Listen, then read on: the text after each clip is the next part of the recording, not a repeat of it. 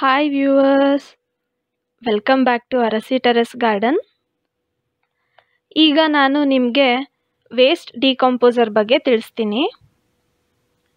ಇದನ್ನು ಶಾರ್ಟ್ ಫಾರ್ಮಲ್ಲಿ W D C ಅಂತ ಕರೀತಾರೆ.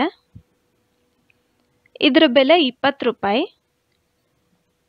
ಆನ್ಲೈನಲ್ಲಿ ಸಿಗುತ್ತೆ. ಒಂದು ಸಾರಿ ತಗೊಂಡ್ರೆ ಮೂರು ವರ್ಷದೊಳಗೂ ಬಳಸ್ಕೋಬೋದು. ಮೊದಲಿಗೆ ಡಬ್ಲ್ಯೂ ಡಿ ಸಿ ಅಂದರೆ ಏನು? ಇದನ್ನು ಯಾವ ರೀತಿ ತಯಾರು ಮಾಡ್ತಾರೆ? ನಾವು ಯಾವ ರೀತಿ ಬಳಸ್ಬೋದು? ಮತ್ತು ಹೇಗೆ?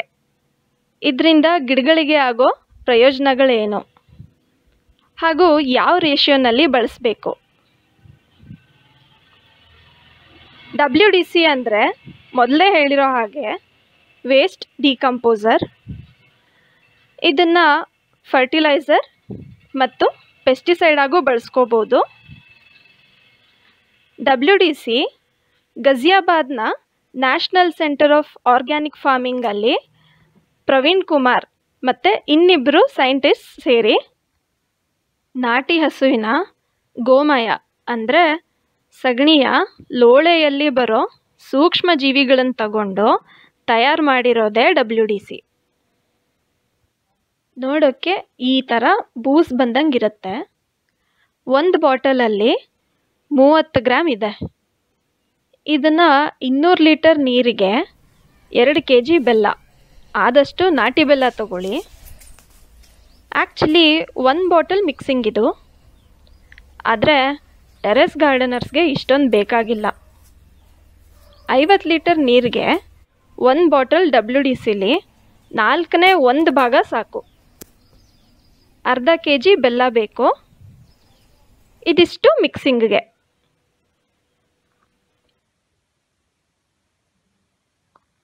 ಆದರೆ ಇದನ್ನು ಮಾಡಬೇಕಾದ್ರೆ ಡ್ರಮ್ ನೀಟಾಗಿರಬೇಕು.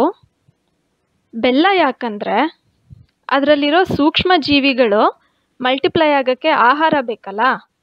ಅದಕ್ಕೆ ಬೆಲ್ಲ ಹಾಕಬೇಕು. ಐವತ್ತು ಲೀಟರ್ ನೀರಿಗೆ ಅರ್ಧ ಕೆ ಜಿ ಬೆಲ್ಲ ಹಾಕಿ ಚೆನ್ನಾಗಿ ಬೆಲ್ಲ ಕರಗೋವರೆಗೂ ತಿರುಗಿಸ್ಬೇಕು. ಈ ಬಾಟಲಲ್ಲಿರೋ ಡಬ್ಲ್ಯೂ ಡಿ ಸಿನ ಆಲ್ರೆಡಿ ಮೂರು ಬಾರಿ ಬಳಸ್ಕೊಂಡಿದ್ದೀವಿ.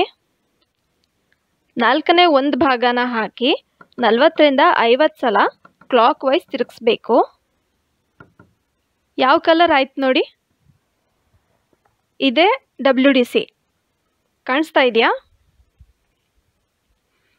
ಅದನ್ನು ಒಂದು ಬಿಳಿ ಕಾಟನ್ ಬಟ್ಟೆ ತಗೊಂಡು ಕಟ್ಟಬೇಕು ಏರ್ ಫ್ಲೋ ಆಗಬೇಕಲ್ವಾ ಅದಕ್ಕೆ. ಏರ್ ಫ್ಲೋ ಆದಷ್ಟು ಸೂಕ್ಷ್ಮಜೀವಿ ಹೆಚ್ಚಿನ ರೀತಿ ಡೆವಲಪ್ ಆಗುತ್ತೆ. ಇದು ಫರ್ಮೆಂಟ್ ಆಗೋಕ್ಕೆ ಏಳು ದಿನ ಬೇಕು.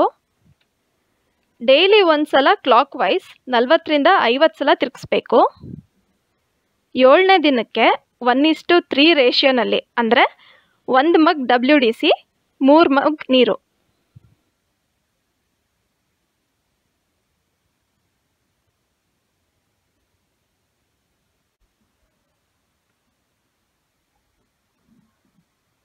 ನೋಡಿ, ಇದು ಮಿಕ್ಸ್ ಮಾಡಿದ ಮೇಲೆ ಸೆಕೆಂಡ್ ಡೇದು ಯಾವ ರೀತಿ ನೊರೆ ಬಂದಿದೆ?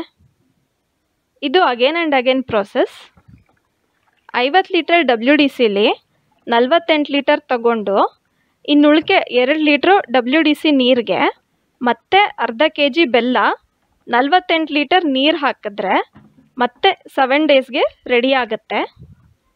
ಈ ಪ್ರೋಸೆಸ್ಗೆ ನೋ ಎಂಡ್ ಆದರೆ ಇದ್ರ ಪ್ರೋಸೆಸ್ ನೆರಳಲ್ಲಿಟ್ಟು ಮಾಡಬೇಕು.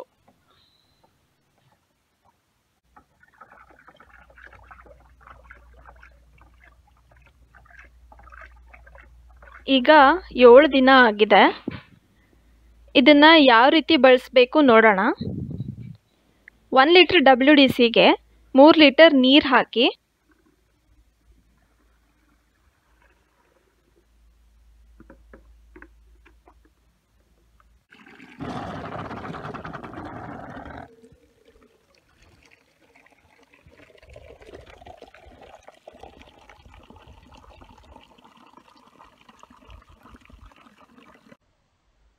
ಒಂದೊಂದು ಗಿಡಕ್ಕೆ ನೂರರಿಂದ ಇನ್ನೂರು ಎಂ ಎಲ್ ಗಿಡದ ಬುಡಕ್ಕೆ ಹಾಕಬೇಕು.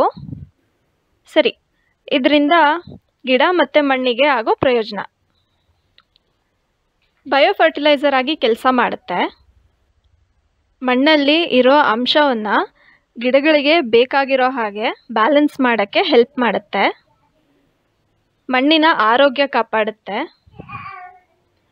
ಕಿಚನ್ ವೇಸ್ಟ್ ಮೇಲೆ ಡಿಕಂಪೋಸರ್ ನೀರನ್ನು ಚಿಮುಕ್ಸಿದ್ರೆ ಬೇಗ ಕಾಂಪೋಸ್ಟ್ ರೆಡಿ ಆಗುತ್ತೆ. ಎರೆಹುಳು ಹೆಚ್ಚಿನ ಸಂಖ್ಯೆ ಸಂಖ್ಯೆಯಲ್ಲಿ ಹುಟ್ಟು ಹಾಕುತ್ತೆ. ಫಾರ್ ಎಕ್ಸಾಂಪಲ್ ಒಂದು ಎಕರೆ ಜಾಗಕ್ಕೆ ಸಾವಿರ ಲೀಟ್ರ್ ಡಬ್ಲ್ಯೂ ಡಿ ಸಿ ಹಾಕಿದ್ರೆ ನಾಲ್ಕು ಲಕ್ಷ ಎರೆಹುಳು ಇಪ್ಪತ್ತೊಂದು ದಿನದಲ್ಲಿ ಉತ್ಪತ್ತಿಯಾಗುತ್ತೆ. ಇದು ಸಂಶೋಧನೆಯಿಂದ ಸಾಬೀತಾಗಿದೆ. ಇದನ್ನು ಬಯೋಪೆಸ್ಟಿಸೈಡ್ ಆಗಿ ಬಳಸ್ಕೋಬಹುದು. ಅಂದರೆ ಗಿಡಗಳಿಗೆ ಹುಳು, ಹುಪ್ಟೆ ಅಥವಾ ರೋಗ ಬಂದಿದ್ರೆ ಹೋಗಲಾಡ್ಸೋಕ್ಕೆ ಹೆಲ್ಪ್ ಮಾಡುತ್ತೆ. ಯಾವ ರೀತಿ ಅಂದರೆ ಒಂದು ಲೀಟರ್ ಡಬ್ಲ್ಯೂ ಡಿ ಸಿಗೆ ಐದು ಲೀಟರ್ ನೀರು ಬರೆಸಿ ತಿಂಗಳಲ್ಲಿ ಮೂರರಿಂದ ನಾಲ್ಕು ಸಲ ಕಂಟಿನ್ಯೂಸ್ ಆಗಿ ಸ್ಪ್ರೇ ಮಾಡಿದ್ರೆ ನೂರಕ್ಕೆ ತೊಂಬತ್ತೈದರಷ್ಟು ಹುಳು, ಹುಪ್ಟೆ ಕಾಟ ಇರಲ್ಲ.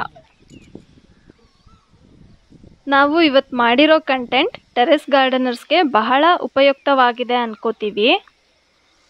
ನೀವೇನಾದರೂ ಮೊದಲನೇ ಬಾರಿ ನೋಡ್ತಾ ಇದ್ದರೆ ಸಬ್ಸ್ಕ್ರೈಬ್ ಮಾಡಿ ಪಕ್ಕದಲ್ಲಿರೋ ಬೆಲ್ ಐಕನ್ ಓಕೆ ಮಾಡಿ, ಆಗ ನಾವು ಹಾಕೋ ಪ್ರತಿ ವಿಡಿಯೋಸ್ ನೀವು ನೋಡ್ಬೋದು. ಲೈಕ್ ಮಾಡಿ, ಶೇರ್ ಮಾಡಿ, ಕಮೆಂಟ್ ಮಾಡಿ. Wish you happy birthday to you, Siri.